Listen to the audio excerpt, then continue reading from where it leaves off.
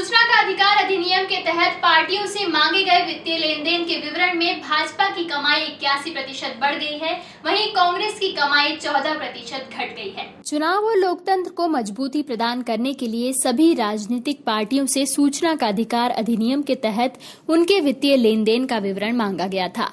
किंतु राजनीतिक दलों की आय और खर्च के ब्यौरे का खुलासा एक रिपोर्ट से हुआ है। देखिए आंकड़े किस राजनीतिक दल को कितना चंदा, अर्थात देश और जनता की सेवा सुरक्षा करने के लिए कितना आर्थिक सहयोग सहित डोनेशन मिला।